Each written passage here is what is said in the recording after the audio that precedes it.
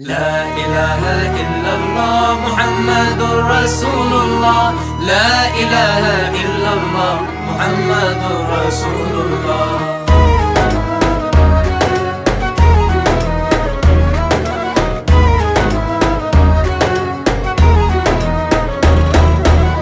لا إله إلا الله محمد رسول الله.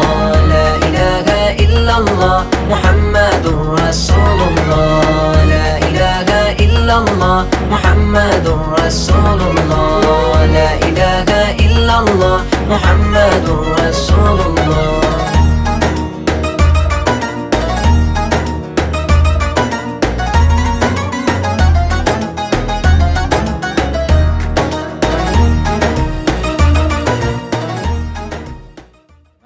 Allah sallallahu alaihi wasallam has said that my lineage is like that of the boat of Nuh alayhi salam. Whoever went onto that boat received salvation. Whoever holds on to my lineage will receive salvation. For هؤلاء فهم سفينة نجاة. For they are, and indeed from them is the boat of salvation. So Sayyidina Mahdi alayhi salam will be born in the lineage of the Prophet sallallahu alaihi wasallam. now we have learned from our pious predecessors and our teachers in particular that to speak about Mahdi alayhi salam, an individual needs to be extremely careful. We should not go into speculation regarding him. We should not go into suspicious matters regarding him. And indeed, if you know something about Mahdi alayhi salam, which you know will not be accepted by the awam, then you do not disclose that information to the awam because he is the Khalif of Allah subhanahu wa ta'ala. Inni ja'ilun fil ardi khalifa. And Allah subhanahu wa ta'ala says in the Quran al-Kareem, Inni, indeed I, ja'ilun fil ardi khalifa, have sent forth to the world fil ard khalifa, my representative. Often the commentators of the Quran al-Kareem have put this verse down as we, the Muslim community, are the representatives of Allah's deen. And the first of us, whether you're a believer or a non-believer, the first human being to be sent down was Sayyidina Adam alayhi salam. And this was said by Allah subhanahu wa ta'ala to the angels. وَإِذْ قَالَ رَبُّكَ لِلْمَلَائِكَةِ إِنِّي جَاعِلٌ فِي الْأَرْضِ خَلِيفَةً And Allah subhanahu wa ta'ala says to the angels, I am sending forth my vicegerent, my representative the biggest of the khulafa in the end of times, in the end of times, after the pious predecessors, generations have gone, the Salaf Salihin have gone, the Sahaba, Tabi'een, Tabi Tabi'een, the best of the khulafa thereafter will be Sayyidina Mahdi alayhi salam. The question shouldn't be, is he born or not? The question is, are you worthy of being in his army? It was asked to the Messenger salawatu rabbi salam alayhi wa ala could you describe his physical features to us? Sayyidina Nabi alayhi afdal salat wa taslim said about Sayyidina Mahdi salam that his blessed face of Mahdi salam, he said his face does not resemble my face. The Messenger of Allah sallallahu said his face does not resemble my face. The face of Mahdi salam will be as such that his nose will be slightly hooked. The nose of Sayyidina Mahdi salam will be slightly hooked and Sayyidina Mahdi salam will not have the same complexion of the Messenger of Allah sallallahu alayhi either. About the complexion of the Prophet sallallahu alayhi wa sallam. The narration which was given by our master, Sayyidina wa Mawlana Ali ibn Abi Talib, karramallahu wajhul kareem, Imam al-Mashariq wal Magharib. What did he say? He said the complexion of the Messenger of Allah sallallahu alayhi was neither completely round as the moon but it was not completely oval either. It was something in between. The complexion itself sometimes radiated so much light. As Sayyidina Abu Hurairah said, Kashamsi tajri fi. It was as if the sun was being issued from the face of the Messenger of Allah. And as Abu Hilala said, that one time I looked towards the face of the Messenger of Allah sallallahu and then I looked towards the moon, and then I looked at him again, then I looked towards the moon, and I figured out that the Messenger of Allah sallallahu is even more beautiful than the moon when the moon was in its fullest glory. There was that much light shining from the face of the Messenger of Allah, salawatu rabbi wa salamun alayh. But the Messenger of Allah, salawatu rabbi wa salamun alayh, said about Mahdi alayhi that his complexion will not be the same as mine. His complexion will have a slightly red tint to it. Slightly red tint to his face. About Sayyidina Mahdi it is known that his father's name will be Abdullah and his mother's name will be Amina. The same names are the parents of our master Sayyidina Nabi alayhi salatu wa taslim, Sayyidina Abdullah radiyallahu an wa Sayyida Amina radiyallahu anha. So he will have the same names as the parents of the Prophet sallallahu alayhi wa sallam. Now there are two narrations given. One narration is that Sayyidina Mahdi salam will be born in Madinatul Munawwara. Others have said no, he will be born in Sham, in Syria, but he will travel to Madinatul Munawwara at an early age. But there is no ikhtilaf, there is no difference of opinion amongst the muhaddithin that he will be seen close to the time of his declaration, going from Madinatul Munawwara towards going from Madinatul Munawwara towards Makkah al-Mukarramah. He will be seen on the roadway. The Abdal of Sham, the 40 Abdals of Sham, and about this particular narration, I read quite recently that uh, someone said that Ibn Taymiyyah said that this narration of the 40 Abdals of Sham is a weak narration. Whether Ibn Taymiyyah accepts this narration or not, الحاكم عند تفسيره إمام جلال الدين السيوطي محدث ابن حجر السقلاني شاہ امام محمد رضا خان فاضل بریلوی عبد الحق محدث دہلوی سيدنا امام عبد الله بن عبد الحداد سيدي ابو الحسن الشاذلي الشادلی بهاو الدين نقشبند محمد عبیسی البخاری شهاب الدين سهر وردي معين الدين حسن جشتي غريب نواز Sayyid Usman Data Ali Hujwiri. These are 12 amongst the 106 commentators of the hadith who have said that this narration of the 40 Abdals of Sham is not weak, but it is a sahih hadith. You can check the narrations for yourself, my respected brothers and sisters in the deen. And the narration is from the 40 Abdals of Sham. One of the Abdal will see him, will see Sayyidina Mahdi alayhi salam going from Medina al Munawwara towards Makkah al Mukarram. Then there will be a time where in the Haram, the sanctuary of Makkah al Mukarramah itself, they will be doing the tawaf of the Kaaba. How do you say this in English? Circumambulation? That word, that word there, the brother said. They will be walking around the Kaaba, circumambulation. That one. I can't say the word properly, sorry. Whilst they will be doing the tawaf of the Kaaba, they will do the first round. بين الحجر الأسود والمقام إبراهيم between Hajr al-Aswad and the station of Ibrahim alayhi salam, where the blessed stone is, upon which our master, Sayyidina Ibrahim alayhi salam, stood to build the Kaaba al-Musharraf. And the stone even recognized that today upon me, the feet of a messenger are standing. The feet of a prophet are standing, and that stone softened its chest so as the feet of Sayyidina Ibrahim salam do not feel any pain. And about that stone, Allah subhanahu wa ta'ala says, وَاتَّخُذُوا مِن مَقَامِ إِبْرَاهِيمَ مُصَلَّى Make the station of Ibrahim a place of worship. Pray upon that stone and Allah will accept your worship.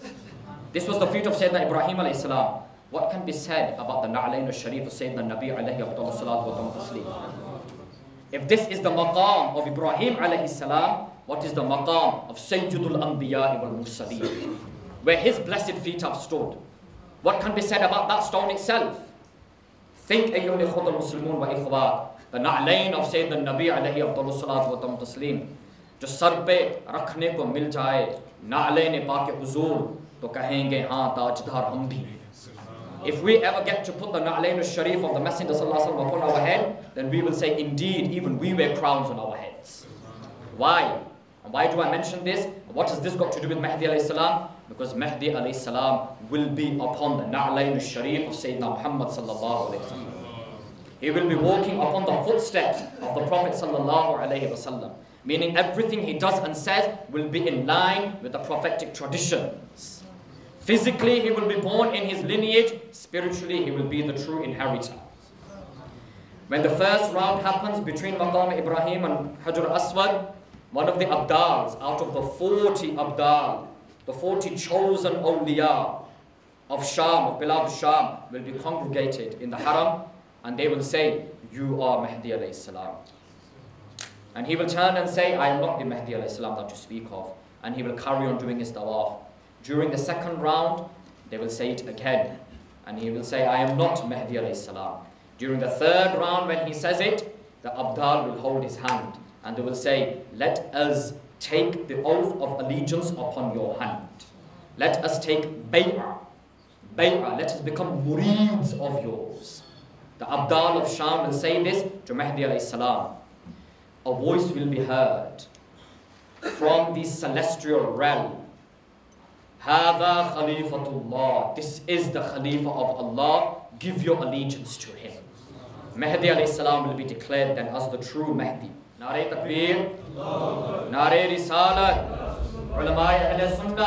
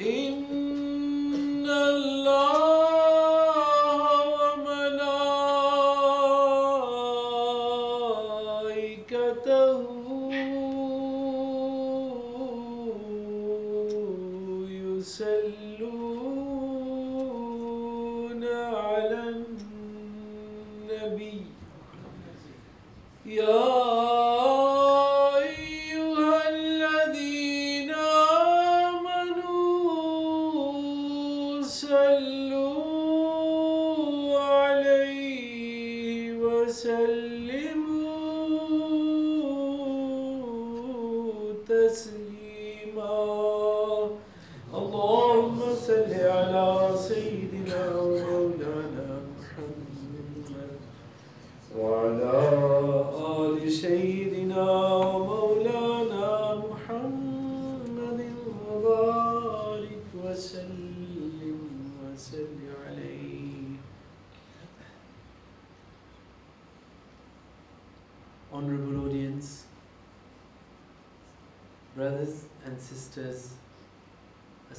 Alaikum wa rahmatullahi wa barakatuh.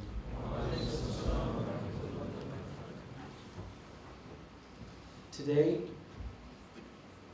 we are thinking about the forthcoming events of Imam Mahdi and the fitna of Dajjal. Of course, given the numbers here this evening, it seems to me that it is a matter of great interest to the young Muslims of Bradford as to when the Dajjal is coming and when Imam Mahdi salam is coming. Of course, a lot of this is hypothecated by those who make assumptions like Nostradamus and those that make other hypothecations, like uh, would be awliya and would be ghaus and qutubs. But really, this sensationalism is nothing new. In the time of the Sahaba, in the time of Prophet ﷺ, one day they all gathered in the Prophet's mosque and they said, Ya Rasulullah sallallahu alayhi wasallam, tell us about the future. Tell us about the end of time. So obviously it's a very sensational topic. It's a very um, emotional topic. It's a very, um, you know, much talked about. So even in that time, in the time of our beloved Master, they all gathered, the men and the women, because of course in the time of the Prophet ﷺ, knowledge was available to men and women, as it is today in this room here. It wasn't exclusive to one gender. And in the presence of the Sahaba and the Sahabiyat, the Prophet ﷺ started. It was uh, just before Dhuhr time. He sat on the mimbar and he started to tell them about forthcoming events in headline terms. And then he carried on his speech and it became Asr time. The Prophet ﷺ prayed Asr with his Sahaba. So it became Asr time. The Prophet prayed Asr and then carried on his speech. Maghrib time came. He carried on. Isha time came. He carried on. All night he spoke to them in headline terms. What's going to happen? The next Fajr came, the next Zuhr came. He carried on telling them. Until he said, and then there will be the Yawmul Qiyamah. All day, all night, he told them about what was going to happen. So I hope you packed your sleeping bags, because that's what I intend to do tonight.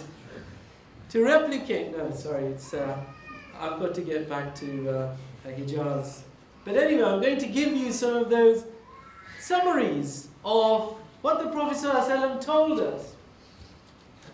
But before I do, and I've, what I've tried to do is I've tried to uh, look at the whole body of hadith and give a summative interpretation of what it is that we should be looking for and what it is that we should not be hyping or sensationalizing. Because of course one day um, I met somebody uh, who told me that, uh, uh, who came to visit me in Hijaz, I was sitting in my office, and he said, I have a letter for you. I said, okay, mashallah, personal delivery, excellent service. And uh, I knew him from about 20 years, and I said, uh, who's this from? He said, read it. So I opened the letter, and I read it, and I was slightly confused. I said, uh, tell me, who is it from? He said, it's from Imam Mahdi salam. I said, really? It's from Imam Mahdi salam. My God. So I read it again and again. I said, where did uh, Imam Mahdi salam give you this letter?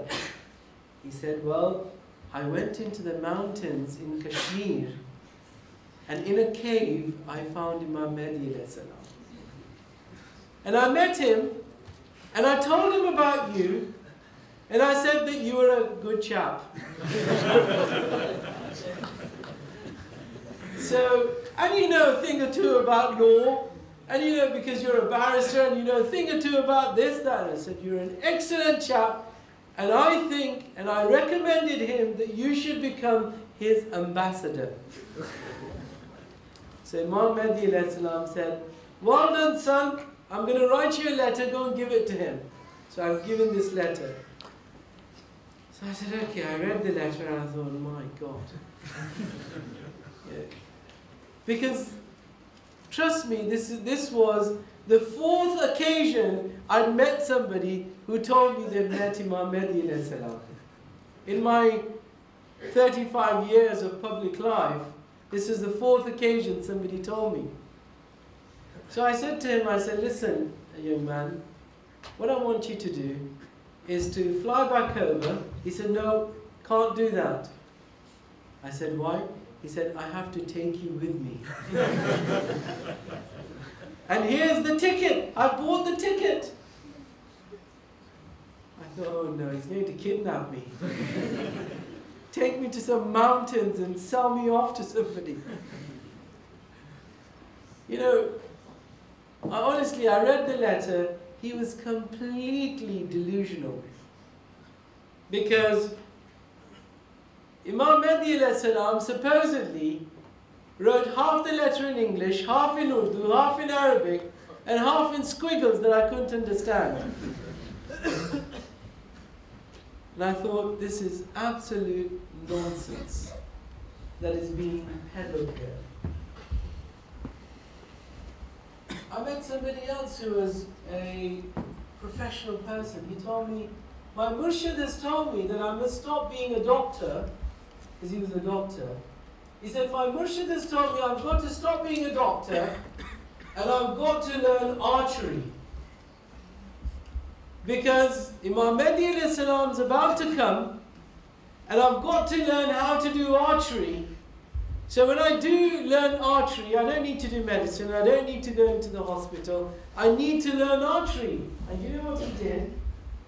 In the hype of it all, he sold his house, resigned at the hospital, believing this man who told him that Imam Mahdi is around here. And I said to this man, he was a very intelligent guy, obviously he was a doctor working in a hospital, he was a, a senior house officer. I said to him, when did uh, this sheikh tell you that uh, Imam Mahdi is going to come? He said the year 2000. It's the year of the Armageddon. And I'm pretty sure that this sheikh had seen a film somewhere. you know, like you get the 2000 film and the 2012 film. You know, and all these Armageddon stories that, you, that we hear. So I said to him, is this really true that he said, he said, look, I've got a book here which he's written in which it says that Imam Mahdi salam is going to come in year 2000. So I thought, well, this is a book and I've got to really take it on its face value. So now when I met this sheikh, I said to him, have you written this book? He said, yes, I have. Year 2000 came and I asked one of his khalifas, I said, uh, 2000 has passed, what happened?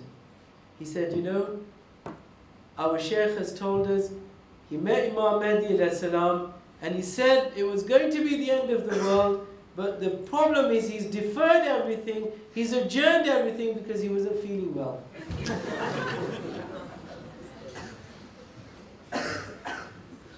Now, I'm telling you stories that I've heard or stories that, these are direct stories that have come to me. Now, I look at all, of, I hear all of these stories. So I ask people, do you actually know what the obvious sign is of Imam Mahdi salam? People who have met him, people who say they know him, people who said they know of somebody who knows him. And you know, the reality is they don't even have the first clue about what the first obvious sign of Imam Mahdi salam is. And shall I tell you what it is? The first and obvious sign of Imam Mahdi salam is that he will have no bones in his body. Hmm? we should all say Subhanallah. His physical structure will be total flesh. There will be no bone in his body, and as you meet him, you will be able, you will not be able to feel any bone in his body at all. Completely flesh. And through the miracle of how Allah creates exceptional creation, He will have created the jasad of Imam Mahdi. So, Imam Mahdi is not a joke. It's not a hype, it's not sensationalism. It's a very serious situation. Now, it's not wrong to contemplate over it. I'm not advocating that. Because Prophet ﷺ taught us go to the graveyard. It will help you reflect and help you focus your mind about death. Prophet ﷺ's hadith, many narrations tell us to await the time of Dajjal and Imam Mahdi alayhi salam. Why? Because it helps us to focus our minds about the end of time. لا إله إلا الله محمد رسول الله لا إله إلا